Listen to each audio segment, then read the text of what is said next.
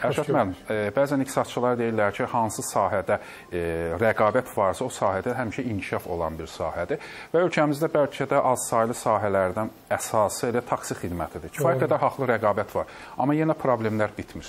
Elə Pro ümumi başlayaq sizdən deyə. Problemlər ona görə bitmir ki, hətta bura e, diqqətlə baxsaq görərik ki, bəlkə də problemlərin bəziləri elə o iqtisadi tərəflə bağlıdır, xüsusən də qiymətlə. Baxın, e, taksi fəaliyyətinin özəlliyi ondan ibarətdir ki, ölkəmizdə ən pis hüquqi tənzimlənən sahələrdən biridir. Ən pis, ən aşağı səviyyədə. Yəni, nəzarət yoxdur demək olar ki. Yəni, faktiki olaraq bugün istənilən adam taksi fəaliyyətinə məşğul ola bilər, heç bir tələb gözləməyinə xüsusi bir ehtiyac yoxdur. Sonra bir son illərdə bu aqreqatorlar peyda oldular.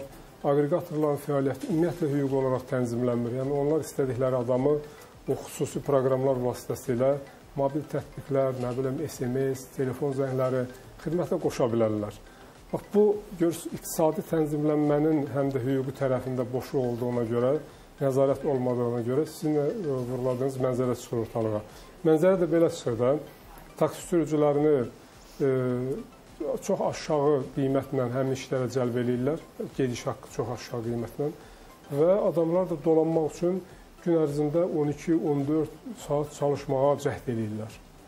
Və başqa yollarda yoxdur. Nəticədə də e, yol hərəkət təhlükəsizliyi tələbləri pozulur.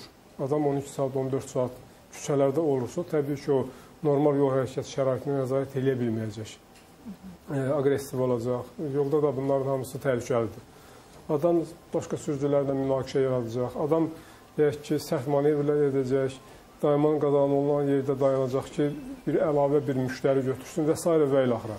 Bax, bütün bunlar hansı görürsünüz, o hüquqi tənzimləmə, tənzimləmədəki boşluq, nəzarətin aşağı səviyyədə olması və rəqabətin az qala hər şeyi həll eləməsi. Bax, bu da yanlış bir şeydir. Rəqabətin hər şeyi həll eləməsi. Yəni, rəqabətin şərtlərinin əslində olmaması gətirir həmən o siz dediyiniz mənzərəyə çıxardır. Sürücü də narazıdır, sürücü də ona görə narazı deyil, dolana bilmirik o qədər aşağıdır ki, məsələn, avtomobilimiz zədələnir deyirlər. Dəfələrlə söhbət eləmişik. Tutaq 300-500 manat orada pul lazımdır. Uzun müddət bunu bərpa edə bilmirik, elə həmin avtomobil bu vəziyyətdə sürülür. Sonra e, müştərilər də deyirlər, hə, bəzən görürsən ki, belə çox təhlükəli sürürlər.